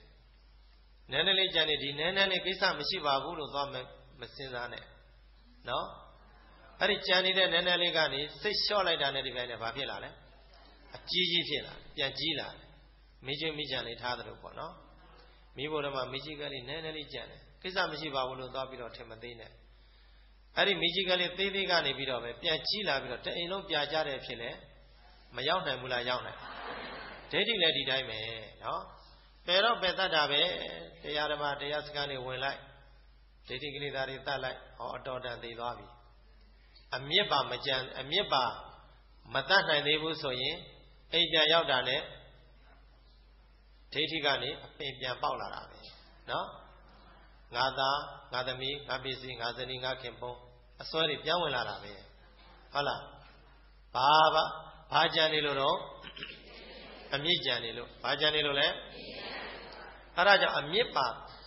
သိအောင်တတ်ဆိုတာကတကူလုံးပါနော်တကူလုံးပါဘယ်နေရာပဲဖြစ်ဖြစ်ဆံပြားကနေခြေပြားအထိဒိဋ္ဌိကိလေသာလုံးဝမဝင်အောင်ဒိဋ္ဌိဆိုတဲ့အစွဲလေးလုံးဝမပေါ်အောင်ဒီလိုကိုတတ်ပြရမိမိနဲ့ပတ်သက်တာတွေဘယ်အရာပဲဖြစ်ဖြစ်ဘယ်လိုနဲ့ပဲတွေ့တွေ့ အတန်ကိုကြားကြားအဆင်းကိုမြင်မြင်အတန်ကိုကြားကြားအနံ့ကိုရရအရသာကိုပဲစားစားအထီးတွေကိုပဲထီးတွေ့ထီးတွေ့အတွေးကိုပဲတွေးတွေးနော်ဘာအကြောင်းအရာကိုပဲတွေးတွေးဒိဋ္ဌိဆိုတဲ့အမြင်လေးပုဂ္ဂိုလ်တ attva ဆိုတဲ့အစွဲလေးလုံးဝမပါအောင်သုံးသပ်နိုင်မယ်ဆိုလို့ရှိရင်ဘယ်နေရာမှမှဘယ်အချိန်မြင်မြင်ဘယ်အချိန်ကြားကြားနော်ဘယ်အချိန်သုံးသပ်သုံးသပ်သုံးသပ်တဲ့အချိန်မှာဒိဋ္ဌိမြင်ရှင်းသွားရမယ်ဟုတ်လား ရိုးရိုးတန်တန်သွားတယ်လာတဲ့အခါတော့ငါပဲသူပဲယောက်ျားပဲမိန်းမပဲဒါတော့ရှိမှာပေါ့နော်အခုပြောတာကရိုးရိုးတန်တန်တရားမရှုတဲ့အချိန်ကိုပြောတာမဟုတ်ဘူးနော်တရားရှုတဲ့အချိန်မှာလုံးဝကင်းစင်နေရမယ်ဟုတ်လားတရားရှုတဲ့အချိန်မှာကင်းစင်နေရင်တရားမရှုတဲ့အချိန်ကြတော့ကောငါသားငါမေငါသားငါမေယငါပစ္စည်းငါဇနီးငါခင်ပွန်းပြောတော့ပြောမယ်ဒါပေမဲ့မစွဲတော့ဘူး စွဲသေးလားမစွဲတော့ဘာဖြစ်လို့တော့မေးတော့တရားရှုတော့ကအဲ့ဒီအစွဲကိုပယ်တတ်နိုင်တာလို့ဟုတ်လားဟောဝိတကအကြောင်းမှကြည့်တော့သူတို့လည်းသောတာပန်ပဲမဟုတ်လားအနာရမင်းတရေကြည့်တော့သူတို့လည်းသောတာပန်ပဲမဟုတ်လားဒါပေမဲ့ဒါငါသားငါမရငါပစ္စည်းသူတို့လည်းပြောသေးတာပဲဟုတ်လားနာရမင်းတရေကြည့်ဆိုလဲသူသားကာလအာငါသားရေဖះเจ้าသွားပြီးတော့မင်းဥပုသ်ဆောင်ရမယ်ငါသားလို့တော့ခေါ်သေးတာပဲเนาะ သောတာပန်ဆိုတော့စိတ်ထဲမှာစွဲသေးလားဘယ်လိုသဘောပေါက်ထားလဲဩဒါရုပ်တဲ့နာအကြောင်းကြောင့်ဖြစ်တဲ့အကျိုးငါမပိုင်ဘူးအကြောင်းကပိုင်တဲ့တရားဒီလိုတော့သဘောမပေါက်ဘူးလားပေါက်ထားလားအဲ့ဒါကြောင့်သားလို့ခေါ်ပေမဲ့တကယ်တော့စိတ်ထဲမှာငါသားငါပိုင်တယ်ဆိုတဲ့ဆွဲသူမှရှိသေးလားမရှိဘူးเนาะမရှိဘူးဝိသကအကြောင်းမကြီးဆိုလဲသားသမီးတွေမွေးထားတာเนาะအများကြီးပဲမြည်တွေလည်းအများကြီးပဲဒါပေမဲ့လို့ ဒီအပေါ်မှာငါသားငါသမီးငါမြည်ဆိုတဲ့ဆွဲရှိရလားလောကဟောရတာအဖြစ်တော့မခေါ်ဘူးလားခေါ်လားခေါ်တာပဲဒါပေမဲ့အစွဲမရှိဘူးအစွဲကိုပယ်တတ်ထားလို့နော်လောကဝါဒဖြင့်ခေါ်ခြင်းခေါ်ပြောခြင်းပြောဆက်ဆံခြင်းဆက်ဆံဒါပေမဲ့အစွဲမရှိဖို့တော့လိုတယ်။ဘာမရှိဖို့လိုတော့အစွဲမရှိဖို့လိုတယ်ဟုတ်လားအစွဲမရှိဖို့တော့လိုတယ်အဲ့ဒီအစွဲကိုတတ်ဖို့ဆိုတာက သေသေးချာချာသဘောပေါက်ထားမှအစွဲမရှိအောင်နေလို့ရတယ်နော်အစွဲမရှိအောင်နေလို့ရတယ်သေသေးချာချာသဘောမပေါက်ထားဘူးဆိုရင်အစွဲလန်းလေးတော့ရှင်းနေအောင်ပါပဲဒီလိုမဟုတ်လားဥပမာတချို့တချို့ပုဂ္ဂိုလ်တွေလောကဥပမာအပြင်ပြောကြပါစို့နော်။ဟောဒီအာဟာရလေးစားရင်ဒီယောဂဖြစ်တယ်လို့သူများကလာပြောကိုယ်ကသိပြီးတော့မယုံကြည်ဘူး။ဘာဖြစ်လို့လဲပြီးတော့ကိုယ်တိုင်မခံစားဘူးသေးလို့ဟုတ်လားမခံစားဘူးသေးတော့သဘောပေါက်လား မပေါက်သေးဘူးအဲ့ဒီစားလေးများမတော်တဆစားမိလို့သေကောင်ပေါင်းလိုက်မှတစ်ခါတော့ဖြစ်ပြီးပြီဆိုရင်နောက်အဲ့ဒီစားစားကြည့်ကိုမကြည့်ကျင်တော့ဘာဖြစ်သွားတာလဲအစွဲပျောက်သွားတာအစွဲပျောက်သွားတာကိုယ်နဲ့ခံစားလာရတော့သဘောပေါက်သွားပြီလေဟုတ်တယ်မဟုတ်လားသေကောင်ပေါင်းလိုက်ခံစားလိုက်ရပြီဆိုတော့သဘောမပေါက်ဘူးလားပေါက်သွားသဘောပေါက်သွားတော့အဲ့ဒီစားစားကြည့်ကိုမကြည့်ကျင်တော့ဘူးလှက်ကိုမကြည့်ကျင်တော့ဘူးနော်အဲ့ဒီလိုပေါ့ အခုလည်းပဲသဘောမပေါက်သေးဘူးဆိုရင်တော့အစွဲလေးကတော့ပြန်ဝင်နေသေးတာပဲသဘောပေါက်သွားပြီဆိုရင်တော့ လောကဝါဒအဖြစ်သားကတော့သားပေါ့သမီးကတော့သမီးပေါ့ပစ္စည်းကတော့ပစ္စည်းပေါ့သို့တော်လည်းဒီအပေါ်မှာစွဲသေးသလားမေးတော့မစွဲတော့ဘူးเนาะမစွဲတော့အဲ့ဒီလိုမစွဲအောင်ပယ်တတ်နိုင်လို့ရှိရင်အဲ့ဒါဒိဋ္ဌိကိလေသာဆင်တာပဲအဲ့ဒီဒိဋ္ဌိကိလေသာဆင်ဖို့ဆိုတာကဘုန်းကြီးတို့အတုံးခဲကြီးပုံမှန်တရာကြီးကြည်နေုံလောင်းနေတော့ဒိဋ္ဌိဒိဋ္ဌိကိလေသာ အမြင်အစွဲလေးတွေမပြောင်းနိုင်ဘူးနော်အဲ့တော့ဟောဒီအတုံးခဲကြီးကိုတိတိကျကျခွဲခြားစိတ်ဖြာပြီးတော့ကိုကြည့်ရမယ်နော်ဟောဒီတုံးခဲပုံပန်းသရာကြီးမြင်နေရတဲ့လူဆိုတဲ့ပုံကိုကြီးဒုပောင်ကခြေလဲဆိုတဲ့အရာဝတ္ထုကြီးဒါကြီးတွေဟာဘာတော့တကယ်တဘာဝကဘာတော့နော်တကယ်တဘာဝကဘလို့ရှိနေတာတော့ဘလို့ဖြစ်နေတာတော့ဘလို့ပြက်နေတာတော့ဒါကိုသဘောပေါက်အောင်ကြည့်ရမယ် အဲ့ဒီလိုသဘောပေါက်ဖို့ဆိုတာခွဲခြားစိတ်ဖြာပြီးတော့နော်ခွဲခြားစိတ်ဖြာပြီးတော့သိသိချာချာကိုထုတ်ဖောက်ပြီးတော့ဉာဏ်နဲ့ထုတ်ဖောက်ပြီးတော့ကြည့်ရအဲ့ဒီလိုထုတ်ဖောက်ပြီးတော့ကြည့်လိုက်တဲ့အခါကျတော့မိမိကမျက်စိနဲ့မြင်ရတဲ့အတုံးခက်ပုံမှန်တရားကြီးဖြစ်ပေမဲ့လို့လည်းပဲတကယ်တမ်းဉာဏ်ကလေးနဲ့ထုတ်ဖောက်ပြီးတော့ကြည့်လိုက်တဲ့အခါကျတော့ဉာဏ်နဲ့အောက်ဉာဏ်ရဲ့အောက်ပုံမှန်တရားဆိုတာမတွေ့တော့ဘူးနော်မျက်စိနဲ့ကြည့်တော့မတွေ့ရဘူးလားတွေ့ရလား သို့တော့ဉာဏ်နဲ့ကြည့်လိုက်ရင်ပုံမှန်တရားကိုမတွေ့ရတော့ဟုတ်လားပုံမှန်တရားကိုမတွေ့ရဘုန်းကြီးတို့ဓမ္မန်တို့အထာဆောင်းတို့ရိုက်တယ်လို့ပေါ့နော်အပေါ်ကကြည့်လို့ရှိရင်တော့လူပုံမှန်တရားတွေ့ရမှာပဲဒါပေမဲ့ဓမ္မန်ရလိုက်တဲ့အခါကျတော့အတွင်းရပစ္စည်းလေးတွေမပေါ်ဘူးလားပေါ်လားဒီတိုင်းမျက်စိနဲ့ကြည့်လို့ပေါ်ရလားမပေါ်ဘူးနော်ဓမ္မန်နဲ့ကြည့်မှာအဲဒီလိုအစ္စရေးရောင်ကြည်လေးနဲ့ထုတ်ဖောက်ပြီးတော့ကြည့်လိုက်တဲ့အခါကျတော့မှနော်အတွင်းရရှိတဲ့ပစ္စည်းလေးတွေတစ်ခုချင်းတစ်ခုချင်း ပေါ်လာတာဟုတ်လားတစ်ခုချင်းတစ်ခုချင်းပေါ်လာတာဘုန်းကြီးတို့ဟိုပြပတွေပါတွေသွားတဲ့အခါမှာအစ္စရေးရောင်ကြီးထဲမှာလက်စိတ်တစ်လုံးထိုးထက်လိုက်လက်စိတ်ထဲမှာဘာတွေရှိတယ်ဆိုတာဟိုထဲမှာလာပြီးတော့မပေါ်ဘူးလားပေါ်လားပေါ်တယ်တန်နဲ့ပတ်သက်တဲ့ပစ္စည်းတွေတန်တို့တန်စလက်နဲ့ကရိယာဘာတွေပါတယ်ဆိုတာအစ္စရေးရောင်ကြီးနဲ့ထိုးဖောက်ကြည့်လိုက်တော့ကွန်ပျူတာမှာလာပေါ်တယ်နော်အဲဒီလိုလာပေါ်တဲ့အခါကျတော့ဩအန္တရာယ်ရှိတဲ့ပစ္စည်းလား အန္တရာယ်မရှိတဲ့ပစ္စည်းလားဆိုတာတို့ခွဲခြားလို့မရဘူးလားရဒီတိုင်းကြည့်လို့ရပါမလားအဲဒီလိုပဲမိမိရဲ့ဉာဏ်ဆိုတဲ့နော်ရောင်ကြည်လေးနဲ့ထုံးဖောက်ပြီးတော့ကြည့်လိုက်တဲ့အခါကျတော့ဩမျက်စိနဲ့ကြည့်လို့ရတဲ့ပုံမှန်တရားကြည့်ပြီမဲ့တကယ်ဉာဏ်နဲ့ကြည့်လိုက်တော့ဟာဒုပေါင်ကခြေလက်တော်ဟုတ်မှာမဟုတ်ဖဲပဲအဲ့ဒီတည်းမှာယုတ်တရားနဲ့နံတရားပဲရှိတာပဲဟုတ်လားဘာနဲ့ထိုးဖောက်ကြည့်တာလဲဉာဏ်နဲ့ထိုးဖောက်ကြည့်ရမှာ ဉာဏ်နဲ့ထိုးဖောက်ကြည့်လိုက်တော့ဟာပုံမှန်တရားမှာဆိုတာကဒါကပညာတင်ပြီးတော့အကောင်ထည်ကြီးကိုအပြင်မှအယောင်ချယ်ပြီးတော့ထားတာကြီးပဲတကယ်သဘာဝစိတ်မှန်ကဒုပေါင်ကခြေလက်မှမဟုတ်ဖဲပဲငါမှမဟုတ်ပဲပုဂ္ဂိုလ်တ attva ကြီးမှမဟုတ်ဖဲပဲတကယ်သဘာဝစိတ်မှန်ကယုတ်တရားလေးနဲ့နံတရားလေးပဲဘာနဲ့ထုတ်ဖောက်ကြည့်တော့ခြေတလန်းချင်းတလန်းချင်းလှမ်းနေတယ်ဘေးကပုဂ္ဂိုလ်ကကြည့်လိုက်ဩသူလမ်းသွားနေတယ်တွေ့ရမှာပေါ့နော် ဉာဏ်နဲ့ထုတ်ဖောက်ကြည့်လိုက်တဲ့အခါကျတော့နော်သွားခြင်းနဲ့နံသွားနေတဲ့ယုတ်သွားခြင်းနဲ့နံသွားနေတဲ့နံကလေးတစ်ချက်ဖြစ်ရင်ယုတ်ကလေးတစ်ချက်ဖြစ်တာပဲနတ်ဆက်မဖြစ်တော့ရင်ယောဂလည်းသွားခြင်းစိတ်ကုံသွားတာနဲ့ခြေလမ်းက80မသွားတော့ဘူးသွားသေးလားဘာဖြစ်လို့မသွားသွားခြင်းနဲ့နတ်ဆက်မဖြစ်လို့ပေါ့ဟုတ်လားသွားခြင်းနဲ့နတ်လည်းဆက်မဖြစ်တော့သွားခြင်းနဲ့ယောဂလည်းဆက်မသွားဖြစ်တော့ဘူးပေါ့လေ နော်သွားခြင်းနဲ့နာကဆက်မဖြစ်တော့သွားခြင်းနဲ့ယောဂဆက်မဖြစ်တော့အဲ့ဒီတော့ယောက်ကလေးကတရားတလန်းချင်းတလန်းချင်းသွားနေတာကဘယ်လိုကြောင့်သွားနေရတာတော့နာကြောင့်သွားနေရတာဘယ်လိုကြောင့်သွားနေရအနာကလည်းတစ်ခုဖြစ်တယ်ယောက်ကလေးကတစ်ခုဖြစ်သွားလိုက်နောက်တစ်ခါနာကလေးတစ်ခုပေါ်လာလိုက်ယောက်ကလေးတစ်ခုပေါ်လာလိုက်နောက်တစ်ခါနာကလေးတစ်ခုပေါ်လာလိုက်နာတရားကလေးကလည်းတစ်မျိုးတည်းဖြစ်နေတာလားဆက်ကဆက်ကဖြစ်နေတာလားဆက်ကဆက်ကဖြစ်နေတာကိုအစဉ်လို့ခေါ်တယ် ဘယ်လိုခေါ်လဲနာတရားလေးကလည်းဆက်ကဆက်ကဖြစ်တဲ့အစဉ်ယောက်တရားကလေးကလည်းဆက်ကဆက်ကဖြစ်တဲ့အစဉ်ဟောလက်ကလေးကိုမြောက်ကြည့်လိုက်ပေါ့နော်လက်ကလေးကိုမြောက်ကြည့်လိုက်တော့မျက်စိနဲ့လက်ကြည့်လိုက်ရင်လက်ကြီးမြောက်လာတယ်လို့မတွေ့ရဘူးလားတွေ့ရဒါပေမဲ့အောက်မှာခြားရတယ်လေအပေါ်ရောက်လာဖို့ဆိုတာပြောငနဲ့ရောက်လာတာလားဆင်ငဲဆင်ငဲတက်လာတာဆင်ငဲဆင်ငဲတက်လာတာဆင်ငဲဆင်ငဲဆင်ငဲတည်ရှင်းတည်ရှင်းတည်ရှင်းတဖြည်းဖြည်းနဲ့တက်လာနော် အဲ့ဒီလိုတက်လာတဲ့အခါတော့မျက်စိနဲ့ကြည့်တော့လက်လိုမြင်ပေမဲ့လို့လည်းပဲဉာဏ်နဲ့ထုတ်ဖော်ပြီးတော့ကြည့်လိုက်အဲ့ဒီတည်းမှာအပေါ်ကိုတွန်းတင်ပေးတတ်တဲ့ရွေးရှားတတ်တဲ့သဘာဝလေးတွေတစ်ခုပြီးတစ်ခုမဖြစ်ဘူးလားဖြစ်ရေရှားတဲ့သဘာဝလေးတွေတစ်ခုဖြစ်လိုက်တရက်ကလေးတက်လာတယ်နောက်တစ်ခုဖြစ်လိုက်နောက်တစ်ရစ်တက်လာနောက်တစ်ခုဖြစ်လိုက်နောက်တစ်ရစ်တက်လာအဲ့တော့အောက်ချရတဲ့လက်အပေါ်ရောက်လာတဲ့အချိန်မှာယုတ်တရားကလေးတွေရွေးရှားရတဲ့ယုတ်တရားကလေးတွေအများကြီးဒီထဲမှာဖြစ်လိုက်ပြက်လိုက်ဖြစ်လိုက်ပြက်လိုက်ပြောင်းလဲသွားတာနော် တမျိုးတည်းတစ်ခုတည်းဖြစ်ုံနဲ့လက်အပေါ်ရောက်လာပါမလားအပေါ်မရောက်ဘူးဟောဒီထဲမှာယုတ်ခန္ဓာလေးတွေတစ်မျိုးပြီးတစ်မျိုးတစ်ခုပြီးတစ်ခုဖြစ်သွားလိုက်ပြက်လာလိုက်နည်းနည်းလေးရွေ့လာဟောအဲ့ဒီကပြက်သွားလိုက်နောက်တစ်ခုစားထိုးပေါ်လာလိုက်နည်းနည်းလေးရွေ့လာနည်းနည်းလေးရွေ့နည်းနည်းလေးရွေ့နည်းနည်းလေးရွေ့အဲ့ဒီရွေ့တာလေးကိုသိအောင်ကြည့်နေရမယ်ဟုတ်လားအဲ့ဒါကြောင့်သတိပဋ္ဌာန်ဂိမ်းမှာသတိပဋ္ဌာန်ဂိမ်းမှာဆိုတာလက်ကားပြောတာမဟုတ်ဘူးနော်ဟောဒီလက်ကလေးတစ်ခုရွေ့လိုက်တဲ့ရွေ့နေတာလေးကိုလက်လို့သဘောမထားဘဲနဲ့ အဲ့ဒီတမှာရှိတဲ့တွန်းတင်ပေးတတ်တဲ့ရုပ်ခန္ဓာကလေးရွေ့စေခြင်းနဲ့နာခန္ဓာအဲ့ဒီနှစ်ခုရဲ့ပူပေါင်းဆောင်ရွက်မှုကြောင့်တရွေ့တရွေ့တရွေ့တရွေ့လှုပ်ရှားသွားတာလေးကိုမြင်အောင်ကြည့်ရမှာဒါကိုသတိပဋ္ဌာန်ဂိမ်းတယ်လို့ခေါ်တယ်နော်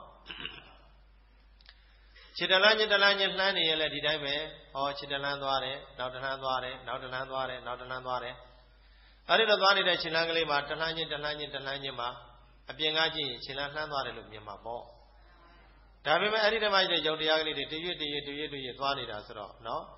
ယုတ်တစ်မျိုးတည်းကနေဟိုရှေ့ရောက်သွားတာလားတစ်မျိုးပြက်လို့နောက်တစ်မျိုးပေါ်လာတာလားတစ်မျိုးပြက်လို့နောက်တစ်မျိုးပေါ်လာတာဟုတ်လားဘုန်းကြီးတို့တောဘက်တွေမှာတော့ရှိတတ်ပါတယ်မြေကြီးထဲမှာရှိတယ်သေးသေးလေးတွေဖောက်ကောင်လေးတွေနော်။နေရာဒီကြတော့သဲလေးထဲမှာကျင်းတူးပြီးတော့ဟုတ်လားအထက်ကနေပြီးတော့ ပေါက်တင်လိုက်သဲလုံးလေးတွေပေါ်ရောက်လာလိုက်တလုံးမီတလုံးမီတလုံးမီဆင်းလာလိုက်တော့သဲပုံလေးမဖြစ်ဘူးလားဖြစ်လားဖြစ်လာတယ်အောက်ကရှိတဲ့သဲကပေါ်ရောက်လာတာလားထက်ကထက်ကဆစ်ဆင်ပြီးလို့ပေါ်ရောက်လာတာလားအဲ့ဒီလိုပဲခြားတောင်မုံလေးတွေနော်ခြာကလေးကနေမြေကြီးလေးတူးလာလိုက်အပေါ်ကိုတင်လိုက်နောက်တကမြေကြီးလေးတူးလာလိုက်အပေါ်ကိုတင်လိုက်တင်ပါများလာတဲ့အခါတောင်မိုးကြီးမမြင်ဘူးလားမြင်မြင်လာ အောက်ကမြေကြီးကပေါ်ရောက်လာတာလားဆင်ငယ်ဆင်ငယ်ဆင်ငယ်တက်လာတာလားဆင်ငယ်ဆင်ငယ်ဆင်ငယ်တက်လာနော်ကျွန်တော်တကဥပမာတစ်ခုပြောပါဦးမယ်ဘုန်းကြီးတို့ကန္နာမှာဟောကွန်ပစ္စည်းတွေကိုတင်ချလုပ်နေတဲ့ဝန်ကြီးဆက်ကြီးတွေနော်အဲ့ဒီဝန်ကြီးဆက်ကြီးတွေရှေ့ကိုတိုးသွားဖို့နောက်ကိုဆုပ်ဖို့ဆိုတာအဓိကပဏိယဘိန်းကနေပြီးတော့ရွေးရှားပေးနေရတာမလားပဏိယဘိန်းလေးတစ်ထစ်တင်လိုက်ရင်ဟိုတစ်ထစ်ရွေ့သွားတာပဲနောက်တစ်ထစ်တင်လိုက်ရင် နောက်တစ်ထစ်ရွေ့သွားတာနောက်တစ်ထစ်တင်လိုက်ရင်နောက်တစ်ထစ်ရွေ့သွားတာပဲတစ်ထစ်တစ်ထစ်တစ်ထစ်တင်တာနဲ့ဟိုမှာတရွေ့တရွေ့တရွေ့မသွားဘူးလားသွားတစ်ထစ်ထဲနဲ့သွားပါမလားအဲ့ဒီလိုပဲမိမိခန္ဓာကိုယ်မှာလည်းဒီတိုင်းပဲအောက်ချရတဲ့ခြေတော်ပေါ်သွားဖို့ဆိုတာကရုပ်ခန္ဓာလေးတွေတည်ပြီးတည်တည်ပြီးတည်ရွေ့သွားတယ်နော်ရုပ်ခန္ဓာလေးတွေတည်ပြီးတည်တည်ပြီးတည်ရွေ့သွားခြင်းဒီဘလူးကြောင့်လုံးလုံးပြီးတော့နာမ်ခန္ဓာကဒီနေရာမှာစိတ်ခိုင်းပေးလို့ဆန္ဒလေးတွေနဲ့တိုက်တွန်းပေးလို့ ရွေ့စေခြင်းတဲ့ဆန္ဒနာခန္ဓာလေးတွေကတိုက်တွန်းပြီးတော့ရုပ်ခန္ဓာလေးကရွေ့သွားနော်နာခန္ဓာလေးတစ်ခုပေါ်လိုက်ရုပ်ခန္ဓာလေးတစ်ခုရွေ့သွားလိုက်နာခန္ဓာလေးတစ်ခုပေါ်လိုက်ရုပ်ခန္ဓာလေးတစ်ခုရွေ့သွားလိုက်တရွေ့တရွေ့တရွေ့တရွေ့အဲ့ဒီတော့လက်ကြီးကိုမြင်အောင်မကြည့်ပါနဲ့ခြေထောက်ကိုမြင်အောင်မကြည့်ပါနဲ့အဲ့ဒီထဲမှာရှိနေတဲ့ရွေရှားနေတဲ့ယုတ်တရားရွေရှားအောင်ပြုပြင်နေတဲ့နတ်တရားရွေရှားနေတဲ့ယုတ်တရားရွေရှားနေအောင်ပြုပြင်ပေးနေတဲ့နတ်တရားဒီနှစ်ခုကိုမြင်အောင်ကြည့်နော် အဲ့ဒီနှစ်ခုကတော့မျက်စိနဲ့ကြည့်လို့ရတာလားဉာဏ်နဲ့ကြည့်မှရမှာလားခုနဣစရိရောင်ကြီးနဲ့ကြည့်လိုက်ရတယ်လို့ပေါ့နော်အဲ့ဒီလိုဉာဏ်နဲ့ကြည့်လိုက်တဲ့အခါကျတော့အော်လက်ဆိုပေမဲ့လို့လဲလက်ကရွေးတာမှမဟုတ်ပဲပဲရွေရှားတတ်တဲ့ယုတ်လေးနဲ့ရွေရှားအောင်ပြုပြင်ပေးတတ်တဲ့နတ်အဲ့ဒီနှစ်ခုကြောင့်ဟောပုံမှန်သရာဆိုတဲ့လက်ကြီးရွေးသွားတာပါလားတကယ်အစစ်မှန်တရားခံကယုံနဲ့နတ်ပါလားဟုတ်တယ်မလားတကယ်သဘာဝအစစ်မှန်ကဘာနဲ့ပါတော့ယုံနဲ့ဟောဒီလက်တို့ခြေတို့ခေါင်းတို့ခါတို့ဆိုတာက ပုံမှန်သရာကြည့်ပြီးတော့နာမည်ပေးထားတဲ့ပညာကြီးပဲပရမတ္ထသဘာဝအစစ်မှန်မှာမဟုတ်ပဲတကယ်သဘာဝအစစ်မှန်ကယုံတရားနဲ့နတ်တရားပဲယုံတရားနဲ့တရားနှစ်ခုပူးပေါင်းပြီးလို့သွားတယ်လာတယ်ဆိုတဲ့မူရဖြစ်တာစားတယ်တောက်တယ်ဆိုတဲ့မူရဖြစ်တာထိုင်တယ်အိတ်တယ်ဆိုတဲ့မူရဖြစ်တာဒါကြောင့်တကယ်သဘာဝစိတ်မှန်သည်ယုတ်တရားနဲ့နန္တရားပါပဲလို့အဲ့ဒီလိုမြင်အောင်ကြည့်ရမယ်အဲ့ဒီတော့ယုတ်တရားကလေးတွေတစ်ခုပြီးတစ်ခုတစ်ခုပြီးတစ်ခုဆက်ဆက်ဆက်ဆက်ပြီးတော့ဖြစ်သွားတာကိုအစဉ်လို့ခေါ်တယ် ဘယ်လိုခေါ်လဲဒီလိုပဲနန္တရားကလေးတွေတစ်ခုပြီးတစ်ခုဆက်ဆက်ဆက်ဆက်ဖြစ်သွားတာကိုလည်းဘယ်လိုခေါ်လဲအစဉ်ပါဠိလိုတော့တန်တတိပါဠိလိုမြန်မာလိုတော့အစဉ်လို့ခေါ်တယ်နော်တန်တတိအစဉ်အဲ့ဒီတန်တတိအစဉ်နဲ့ယုတ်တရားရဲ့အစဉ်နတ်တရားရဲ့အစဉ်ယုတ်ကလည်းတခြားလားခန္ဓာလားနာကလည်းတခြားလားခန္ဓာလားအဲ့ဒါခန္ဓာရဲ့အစဉ်ပေါ့နော်ခန္ဓာလေးတွေဖြစ်လာတယ် ပြက်သွားတယ်ဖြစ်လာတယ်ပြက်သွားတယ်ဓာတုရဲ့ဖြစ်စဉ်လေးတွေဘာလေးတွေလဲသူ့ရဲ့ဖြစ်စဉ်လေးတွေနော်သူ့ရဲ့ဖြစ်စဉ်လေးတွေယုတ်တရားတကူဖြစ်တယ်မပြတ်မစည်းပဲနဲ့တည်တတ်နေတာလားဖြစ်ပြီးမှနောက်တစ်ခုအသေးပေါ်တာလားနာတရားတကူဖြစ်တယ်မပြတ်ဘဲနဲ့ဒီတိုင်းတည်တတ်နေတာလားဖြစ်ပြီးမှနောက်တစ်ခုအသေးပေါ်တာလားအဲ့ဒါဖြစ်တယ်နောက်တစ်ခုစားထုတ်ပေါ်တယ်ပြက်သွားတယ် နောက်တစ်ခုစားထုတ်ပေါ်တယ်နောက်တစ်ခုစားထုတ်ပေါ်လာတာကဖြစ်တာပြီးတော့ပြက်တယ်နောက်တစ်ခုစားထုတ်ပေါ်တယ်ပေါ်ပြီးတော့ပြက်တယ်ပြက်ပြီးတော့နောက်တစ်ခုစားထုတ်ပေါ်တယ်ပေါ်ပြီးတော့ပြက်တယ်ပြက်ပြီးတော့နောက်တစ်ခုစားထုတ်ပေါ်တယ်အဲ့ဒီလိုပြက်သွားလိုက်အစားထုတ်ပေါ်လာလိုက်ပြက်သွားလိုက်အစားထုတ်ပေါ်လာလိုက်ပြက်သွားလိုက်အစားထုတ်ပေါ်လာလိုက်အဲ့ဒါသူ့ရဲ့ဖြစ်စဉ်ပဲနော်သူ့ရဲ့ဖြစ်စဉ်သူ့ရဲ့သဘာဝသူ့ရဲ့အလုပ် ဘလို့ရဲ့အလုပ်လဲပြီးတော့ခန္ဓာရဲ့အလုပ်ဘလို့ရဲ့ဖြစ်စဉ်လဲပြီးတော့ခန္ဓာရဲ့ဖြစ်စဉ်ဟုတ်လားအဲဒီတော့ခန္ဓာရဲ့ဖြစ်စဉ်ကိုသိမှတလန်းချင်းတလန်းချင်းသွားနေရင်လဲဩဒါခန္ဓာရဲ့ဖြစ်စဉ်ပဲငါမဟုတ်ဘူး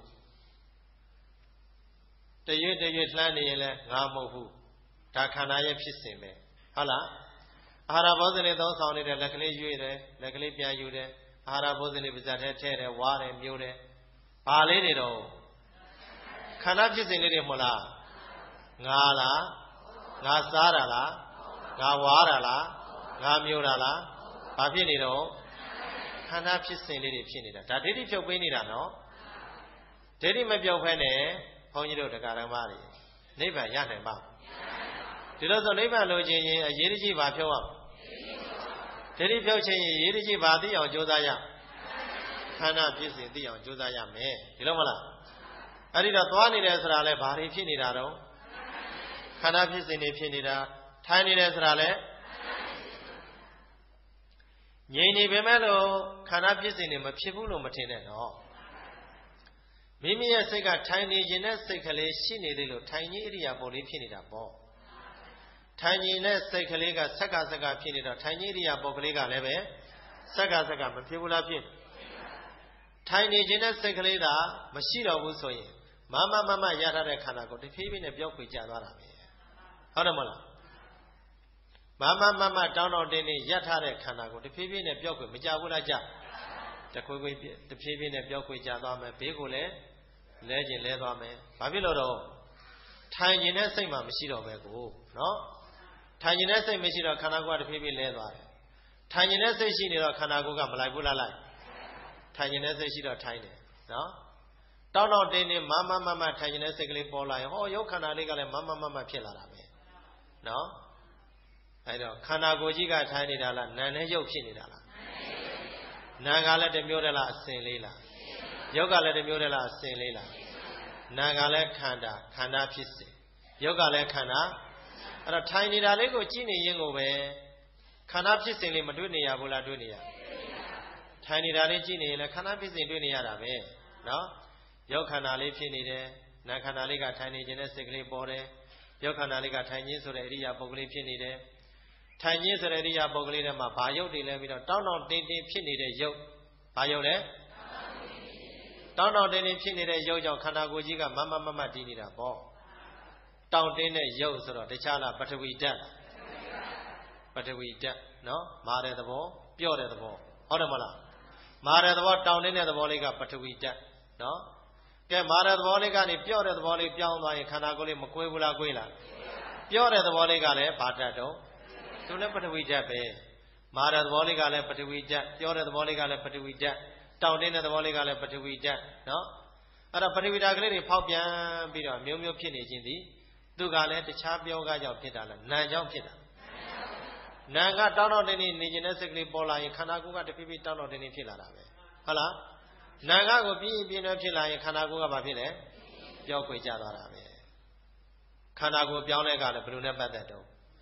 နာနဲ့ပတ်သက်တာပဲเนาะအဲ့ဒါရုပ်ခန္ဓာနဲ့နာခန္ဓာနာခန္ဓာကြောင့်ရုပ်ခန္ဓာတွေဖြစ်တာဟုတ်လားနာခန္ဓာတဲ့နေရာမှာဒီနေရာမှာစိတ်ပေါ့ဟုတ်လားအခုနပြောခဲ့တဲ့ကံရဲ့စိတ်ရဲ့ဥဒုရဲ့အာဟာရရဲ့အဲ့ဒီလေးမျိုးထဲမှာဟောဒီနာဆိုတာတခြားလားစိတ်လား စိတ်ပြောင်းလဲဖြစ်ရင်ခန္ဓာကိုယ်ပြောင်းလဲဖြစ်သွားတာပဲ အာတရားထိုင်နေရင်နဲ့နော်နာပါတယ်ကျင်ပါတယ်ရွှေ့ကျင်တယ်ဆိုတဲ့စိတ်ကလေးပေါ်လာရင်ဟောခန္ဓာကိုယ်လေးကဟိုဘက်ဒီဘက်ရွှေ့ပေးရတာပဲတခြားကြောင့်ရွှေ့ပေးရတာလားစိတ်ကြောင့်ရွှေ့ပေးရတာလားစိတ်ကြောင့်ရွှေ့ပေးရတာဒါစိတ်ကစိတ်ကလည်းပြုပြင်ပေးနေတာပဲအဲ့ဒီတော့ကြည်ရင်ကြည်ရင်နဲ့ဘယ်လိုသဘောပေါက်ရမလဲဆိုရင်နော်လျှောင်းထိုင်ရသွားဘယ်လိုနေရာမျိုးမှာပဲဖြစ်ဖြစ်ဒါနန္တရားနဲ့ယုတ်တရားနန္တရားကလည်းခန္ဓာ ဖြစ်စဉ်ယုတ်တရားကလည်းခန္ဓာဖြစ်စဉ်ဘာတွေဖြစ်နေတာတော့ယုတ်နံခန္ဓာတွေဖြစ်နေတာတလန်းချင်းတလန်းချင်းလမ်းသွားနေတယ်ဘာတွေဖြစ်နေတာတော့ယုတ်နံခန္ဓာတွေဖြစ်နေတာထိုင်နေတယ်ဘာတွေဖြစ်နေတာတော့ယုတ်နံခန္ဓာတွေဖြစ်နေတာအာဟာရသုံးဆောင်နေတဲ့ဘာတွေဖြစ်နေတာတော့ယုတ်နံခန္ဓာတွေဖြစ်နေတာနော်ဇုံကလေးကိုင်းနေတဲ့စိတ်ပေါ်တော့ဇုံကလေးကိုင်းတယ်ကိုင်းတဲ့ရုပ်ကလေးတွေဖြစ်တယ်နော် အာဟာရကလေးယူကျင်တဲ့စိတ်ပေါ်တော့အာဟာရယူမိတယ်ယူကျင်တဲ့ရုပ်တွေပေါ်တယ်ခန္ဓာဝါဆိုတွေးကျင်တဲ့စိတ်ကလေးဖြစ်တော့ရုပ်တရားကခန္ဓာဝါဆိုပို့မပေးရဘူးလားပို့ပေးရတယ်ခန္ဓာနဲ့ရောက်တဲ့အခါကျတော့ဩလျှာကြီးနဲ့အာဟာရလေးသွားတွေးတဲ့အခါမှာစားစိတ်အရသာသိတဲ့စိတ်ကလေးမပေါ်ဘူးလားအရသာသိတဲ့စိတ်ကလေးပေါ်တယ်အရသာသိတဲ့စိတ်စရာလည်းတခြားလားနာလားနာမယ်ဒီလိုမဟုတ်လားမြို့ကျင်တဲ့စိတ်ကလေးပေါ်တယ်မြို့ချလိုက်တယ်မြို့ကျင်တဲ့စိတ်ကနာမြို့တဲ့မူရာက ယုတ်ဟောအာဟာရသုံးဆောင်နေရင်းနဲ့လည်းပဲဘာတွေဖြစ်နေတော့ယုတ်နဲ့နာနေဖြစ်နေတာပဲဘာတွေဖြစ်နေတော့အချိန်တိုင်းအချိန်တိုင်းမှာဒါယုတ်နာပဲဒါခန္ဓာပဲဒါခန္ဓာဖြစ်စဉ်ပဲဒီလိုသိနေရမယ်အဲ့နေရင်လည်းဒီတိုင်းသိရမယ်စားနေရင်လည်းသွားနေရင်လည်းထိုင်နေရင်လည်းမတ်တရနေရင်လည်းအချိန်တိုင်းမှာသိနေရမယ်မိမိခန္ဓာကိုဆံမြားကနေခြေပြဘယ်နေရာကြည့်ကြည့်ရုပ်စဉ်နာမ်စဉ်ဒီလိုသိနေရ အဲ့ဒါတော့သိလို့ရှိရင်အချိန်မရွေးဘယ်အချိန်ပဲကြည့်ကြည့်ကြည့်တဲ့အချိန်တိုင်းမှာယုံနာခန္ဓာစင်မတပါဘာမှမရှိဟုတ်ရဲ့လားဘာရှိတော့ဘယ်အချိန်ပဲကြည့်ကြည့်ပေါ့နော်မျက်စိနဲ့ကြည့်မှလားဉာဏ်နဲ့ကြည့်မှလားဉာဏ်နဲ့ကြည့်လို့ကတော့ဘယ်အချိန်ပဲကြည့်ကြည့်ယုံနာခန္ဓာစင်မတပါဘာတွေ့မှလဲဘာမှမတွေ့ဘူးဟုတ်လားယုံနာခန္ဓာစင်မဲ့တွေ့မဲ့တခြားဘာမှတွေ့မှာမဟုတ်ဘူးဟောပုဂ္ဂိုလ်တ attva မြင်နေပျောက်သွားတယ်ယောက်ျားမိန်းမဆိုတဲ့မြင်နေ ပျောက်သွားတယ်ငါဆိုတဲ့ဆွဲလဲဘာပဲရှိတယ်ယုံနာခန္ဓာစင်ဒီငါဟုတ်ရဲ့လားယုံနာခန္ဓာစင်ဒီငါဟုတ်ရဲ့လားငါလားယုံနာကလားယုံနာနော်ငါလားယုံနာလားယုံနာအဲ့ဒီယုံနာငါပိုင်တာလားအကြောင်းကပိုင်တာလားငါလည်းမဟုတ်ငါလည်းမပိုင်ငါလည်းမဟုတ်ယုံတရားဒီငါဟုတ်ရဲ့လားငါပိုင်ရဲ့လား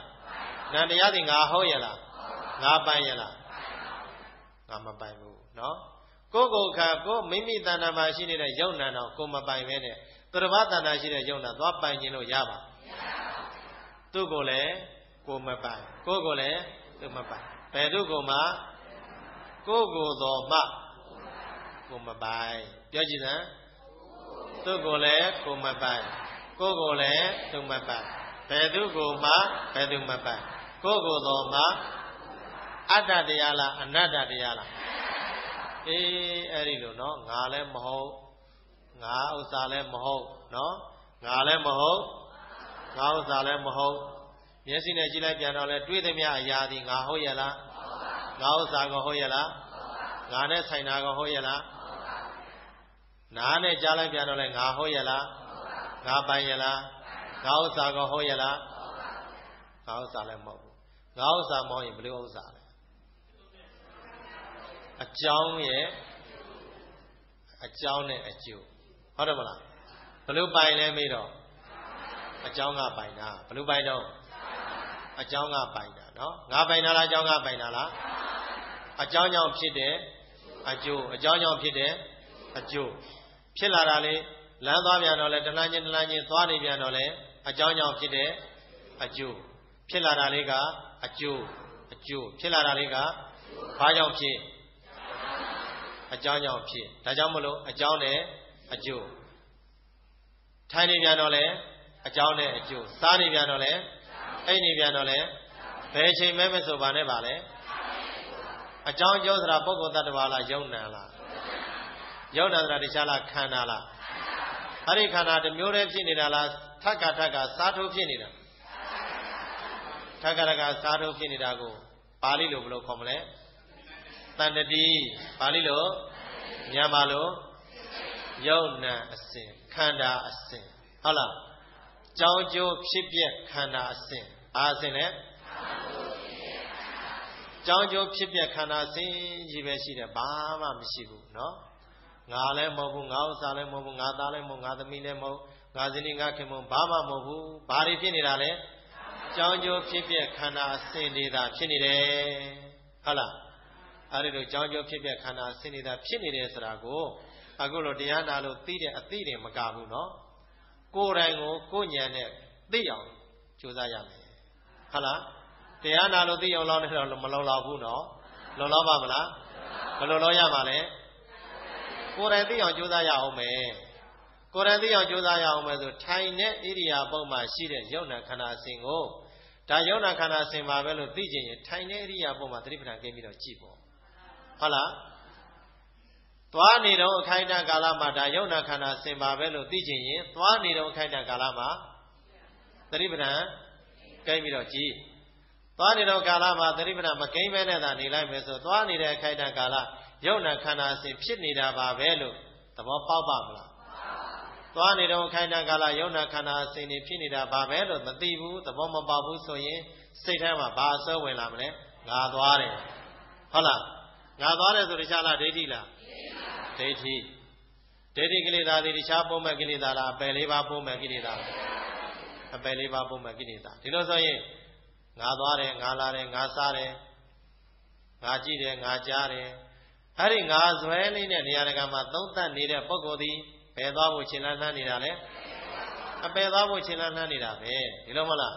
တလန်းချင်းတလန်းချင်းသွားတဲ့နေရာမှာဒိဋ္ဌိနဲ့သွားမှာလားဉာဏ်နဲ့သွားမှာလား ဒိဋ္ဌိနဲ့သွားရင်ငါသွားတယ်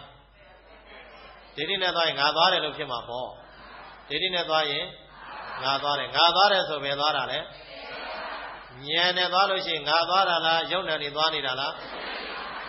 ယုံနဲ့သွားနေပါတယ်ဆိုရင်ဘယ်လိုနဲ့သွားတာလဲဉာဏ်နဲ့သွားဉာဏ်နဲ့သွားရင်ဘယ်သွားမှာလဲနိဗ္ဗာန်သွားမှာဟုတ်ရဲ့လားဉာဏ်နဲ့သွားရင်ဘယ်သွားမှာလဲ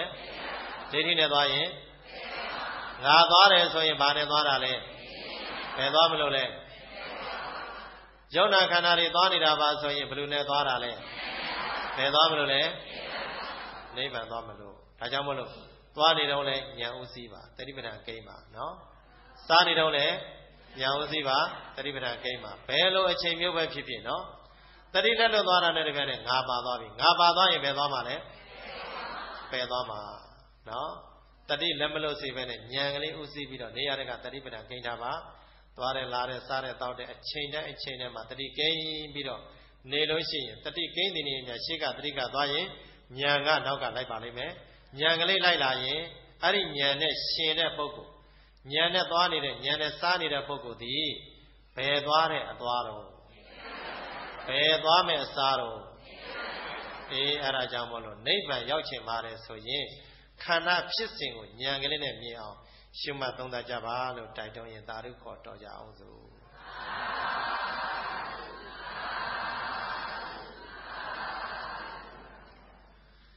အေးကြမှာချမ်းသာစွာဖြင့်မြတ်စွာဘုရားရှင်သာသနာတော်မြတ်ကြီးကိုနိလတဖွဲ့တင်နေအောင်ပြုစုစောင့်ရှောက်ထောက်ပံ့နိုင်သောသာသနာပြုပုဂ္ဂိုလ်တို့ပုဂ္ဂိုလ်များများဖြစ်ကြပါစေ